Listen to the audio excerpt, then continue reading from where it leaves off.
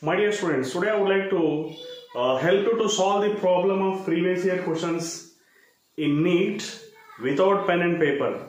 Just by seeing the problem you can do this and there is no need of any pen and paper also. You know what is the solution for this? The easiest and shortcut method for this is whenever in a Wheatstone bridge the lower resistances are double to that of upper resistances lower resistances are double to that of upper resistances like 3 to the 6 4 to the 8 then your answer is going to be